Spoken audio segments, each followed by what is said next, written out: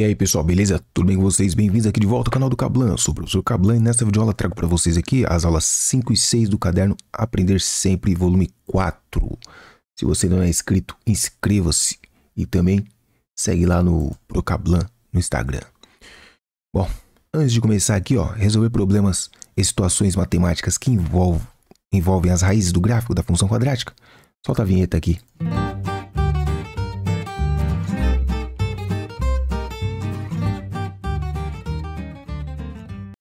Então é isso, né? Antes de começar a resolver a atividade, vamos estudar alguns pontos importantes de uma função quadrática. A função f de R em R chama-se quadrática quando existem números reais a, b e c com a diferente de zero definida como. Então essa daqui é a expressão de uma função quadrática. Certo? Essa daqui, ó. O gráfico de uma função quadrática é uma parábola que pode ter a concavidade voltada para cima se o A for positivo, ou para baixo se o A for negativo. Para analisar em quantos pontos essa parábola vai cruzar o eixo x, você deve analisar o discriminante. O discriminante é o delta. Então o delta ele é expresso por essa essa por essa sentença aqui, ó. Delta é igual a b quadrado menos 4 vezes a vezes c. Se o delta é positivo, nós temos duas raízes reais diferentes e o gráfico cruza o eixo x em dois pontos. Se o a é menor, uh, se o delta é negativo, nós teremos nenhuma raiz. E o gráfico não cruza o eixo x. E se for igual a zero, vai cruzar o eixo x em apenas um único ponto, ou seja, as duas raízes são iguais. Agora analise cada gráfico da função quadrática e descubra se o a é menor que zero, se o a é maior que zero ou se o delta é positivo ou negativo ou igual a zero. Pois bem, tá aí. Então veja que esse gráfico tem concavidade voltada para cima. Isso indica que o coeficiente A é positivo. Não cruza o eixo x em nenhum ponto, o que significa que o nosso A, é, nosso delta, é negativo. Esse outro aqui ó, tem um único ponto aqui e a concavidade é para baixo. Primeiramente, concavidade para baixo quer dizer que o A é negativo. Tem apenas uma raiz, cruza em um único ponto, ou que as raízes são iguais, né? Quer dizer que o delta é igual a zero. Aqui não passa pelo eixo x e a concavidade é para baixo. Concavidade para baixo, A negativo. Não cruza o eixo x em nenhum ponto, delta também é negativo. Para finalizar esse último aqui, ó, tem dois pontos aqui no x e a concavidade é para cima, ou seja, o A é positivo e o delta, vou colocar o delta aqui, ó. O delta é positivo também, porque tem duas raízes. Saresp, a função y igual a f de x em reais está representada graficamente por, por esse gráfico aqui. Pode-se afirmar que a função f tem duas raízes negativas? Ó, não tem nenhuma raiz negativa. Pode, aliás, não tem nenhuma raiz, né? Pode ver aí porque o delta ele é negativo. Ou seja, o gráfico não corta o eixo x. Possui um valor de mínimo? É o contrário, né? Possui um valor ó, de máximo. Quando a concavidade é voltada para baixo, nós temos um valor de máximo, que é esse daqui. Ó. O valor de máximo dele é esse daqui. Esse ponto aqui. Tem raízes reais positivas? Já vemos que não tem raiz. Tem valor de máximo igual a menos 1? Vamos ver daqui a pouco. Não possui raízes reais. Ó, menos 1 não é menos 1, né? Se fosse menos 1, estaria aqui no menos 1 e não está. Está para cima aqui. Então, só pode ser alternativa E, não tem raízes reais. Observe os gráficos das funções f e g. Ó, a g é a verde, a f é a rosa. Determine a raiz em comum que essas duas funções têm. Bom, raízes são os valores de x aqui, ó, que torna a função igual a zero.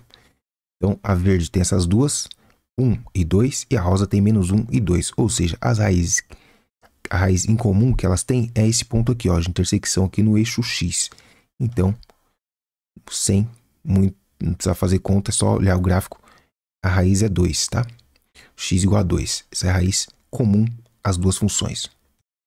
A trajetória de uma pedra lançada ao ar é dada por y igual a menos 5x quadrado mais 20x, com x e y em metros. Determine as raízes dessa função.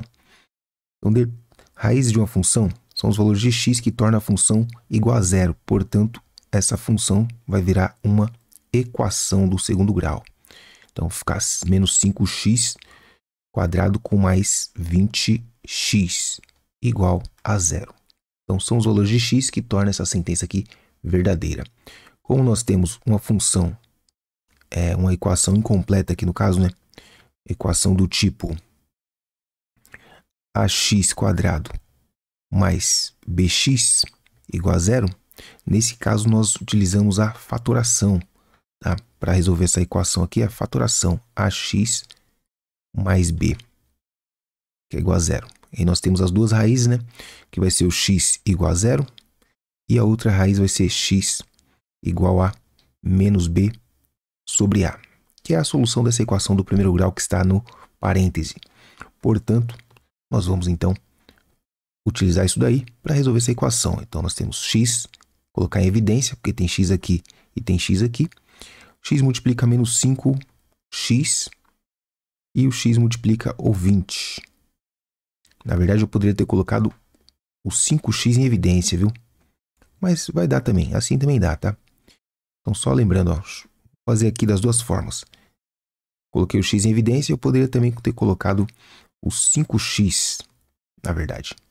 5x em evidência, ó, ficaria vezes menos x aqui, mais 4 aqui. Ok? Então vai dar no mesmo, tá? Se você resolver qualquer uma dessas, você vai ter, ó, 5x é igual a zero ou x igual a zero. Então é uma das raízes. A outra raiz vai ser o que está no parênteses, menos x mais 4, que é igual a zero. Portanto, o x é igual a 4. Daria o mesmo resultado se fizesse com a outra ali? Claro que sim. Ó, menos, é, menos 5x mais 20, que é igual a zero. Ou seja, menos 5x, que é igual a menos 20. E o x vai ser igual a menos 20 dividido por menos 5.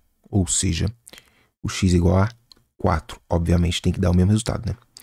Então tá aí. As raízes são. Vamos colocar em forma de conjunto solução? Então as raízes são é, 0 e 4. Simples assim. Você já ouviu falar na fórmula de Bhaskara? Provavelmente você utilizou essa fórmula de resolução da equação de segundo grau no nono ano do ensino fundamental para calcular as raízes da função quadrática. Além do calcular o discriminante, você tem que calcular os valores x1 e x2. Agora determine as raízes das seguintes equações, das, das seguintes funções quadráticas e faça o esboço do gráfico de cada uma delas. Então vejamos aqui. Bom, na letra A, então, nós teremos o seguinte. Letra A. x ao quadrado mais 4x menos 21, que é igual a zero. Vamos utilizar a fórmula do Bhaskara. E vai ficar assim. Calcular o discriminante, delta. Delta vai ser igual a menos b. Aliás, menos b não. b quadrado menos 4ac. Então, a gente vai ter que descobrir quem que é o A, B e o C para a gente jogar na fórmula aqui, ó. Então, nós temos que o A, vou colocar aqui mesmo, o A é igual a 1, o B é igual a 4 e o C é igual a menos 21, tá? Substituindo aqui no delta, então, nós teremos o seguinte, B quadrado vai dar 16, que é 4 ao quadrado, menos 4 vezes o A, que é 1, vezes o B, que é vezes o C, né, que é menos 21. Então, isso vai resultar num delta igual a 16 menos com menos vai dar mais. Então, 4 vezes 21 vai dar 84. Ou seja, nosso delta deu 100. Calculando as raízes agora, nós temos que o x vai ser igual a menos b. Estou usando essa fórmula aqui, ó. Cadê? Essa fórmula aqui. Então vai ser menos b, ou seja, menos 4, mais ou menos raiz do delta, raiz de 100 é 10, dividido por 2 vezes 1, que é 2 vezes a, né? Então, daqui nós teremos dois valores para x, que são x1 e x2. x1 vai ser com positivo, então 4 negativo com 10 positivo vai dar 6. 6 dividido por 2 dá 3. E o x2? x2 vai ser com negativo, ó. Menos 4 com menos 10 dá menos 14. Menos 14 dividido por 2 dá menos 7. Então descobrimos as raízes, né? Aí, ó, menos 7. 3 e menos 7. Agora vamos esboçar o gráfico. Esboçar o gráfico, o delta é positivo, o A é positivo e tem duas raízes. Então vai ficar assim, ó. O gráfico. Esboçar o gráfico.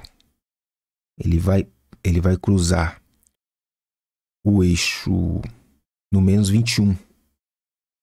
Tá? Então vai ficar assim, ó. É menos 7, né?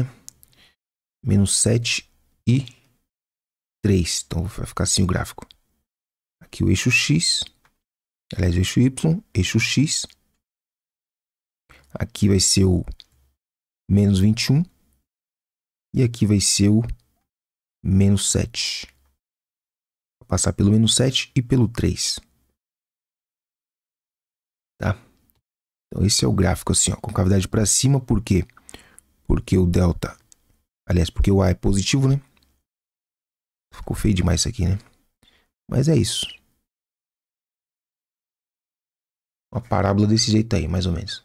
É o esboço, né? Vamos fazer o outro agora.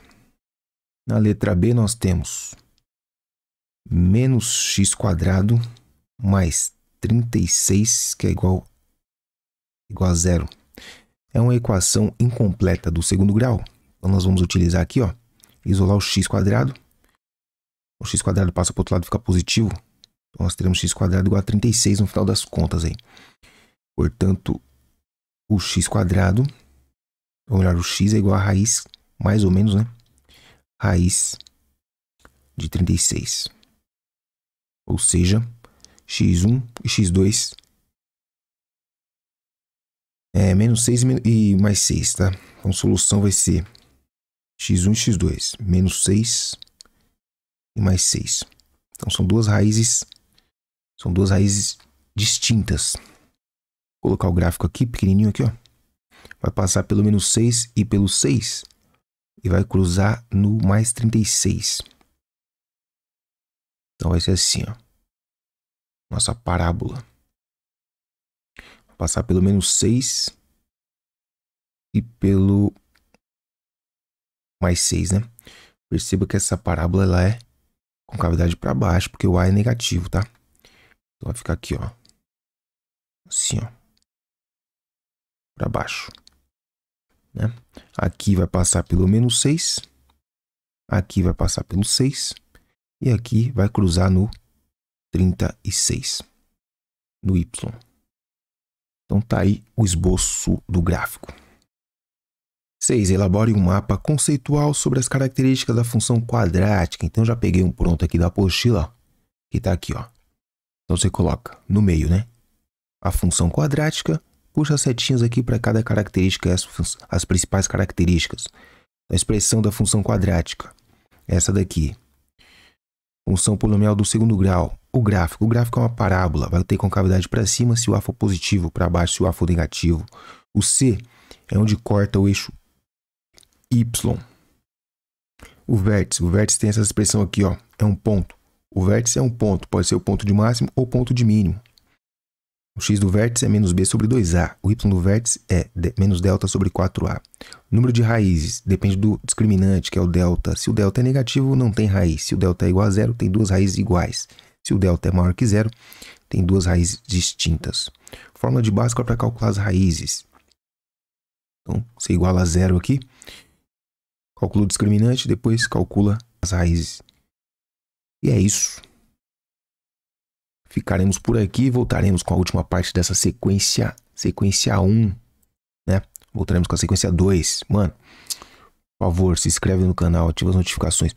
Cara, deixa o seu joinha aí, não, não custa nada, mano. Aperta aí o joinha, por favor, aí. Pô, faz uma, cara, faz uma também, mano. Tamo junto mesmo assim, é nóis, falou.